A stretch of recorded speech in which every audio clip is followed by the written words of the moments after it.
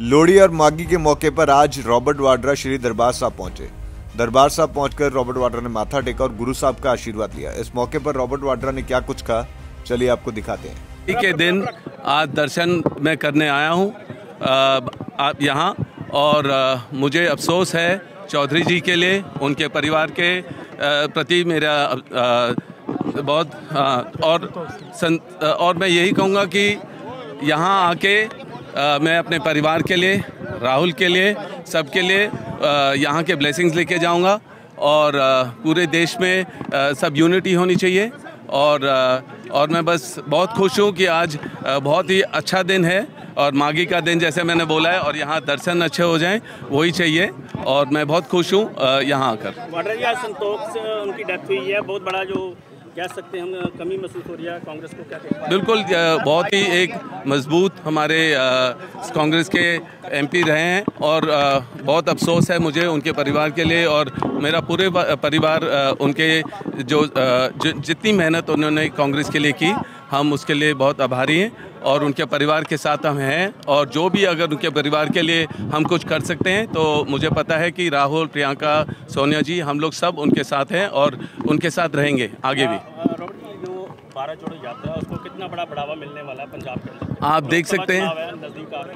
आ अब ये देखिए ये पॉलिटिकल नहीं है। ये बस सब लोग राहुल जी के साथ जुड़ना चाह रहे हैं। राहुल ने बहुत मेहनत की है।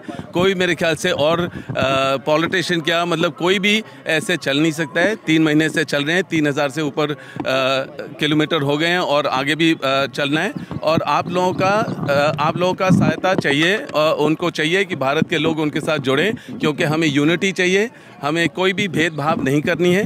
कोई कास्ट वास की बात नहीं करनी है। और मैं यही कहूँगा जितने लोग जुड़ेंगे आप देख सकते हैं कितने फ़र्क आ रहा है।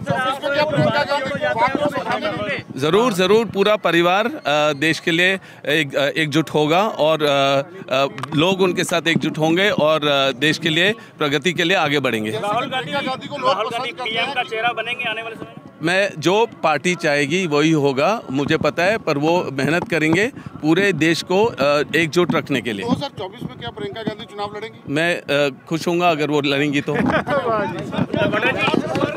बीजेपी कह रही है बीजेपी कह रही है कि जो ये जो यात्रा निकाली जा रही है हमने रथ यात्रा निकाली इन्होंने बारह जोड़ो यात्रा निकाल मैं यही बोलूँगा बीजेपी वालों को कि आप बाहर उतरिए मेहनत करिए और भेदभाव की पॉलिटिक्स ना करें हिंदू मुस्लिम हर चीज़ ऐसी चीज़ ना करें और मेहनत करें कि सब लोग जुड़ें और अ, कोई भी एक चैलेंज है कोई भी बीजेपी का आदमी राहुल जैसे अ, अपनी यात्रा करके दिखाएँ मैं मैं हैरान हूँगा पूरा देश हैरान होगी है उनसे क्या अरदास यहाँ से करके जाएँगे क्या प्रेयर करेंगे आप यहाँ पे? यही कहूँगा कि राहुल की जो मेहनत को समझें और पूरा देश एकजुट रहे और माघी का दिन है नया साल है सिखों के लिए और मैं बहुत खुश हूँ कि उन्होंने मेरे को इतना प्रेम दिया और यहाँ से मैं सबकी ब्लेसिंग्स लेके जाऊँगा अपने परिवार के लिए पूरे देशवासी के लिए। बहुत बढ़िया बहुत बढ़िया बहुत बढ़िया धन्यवाद।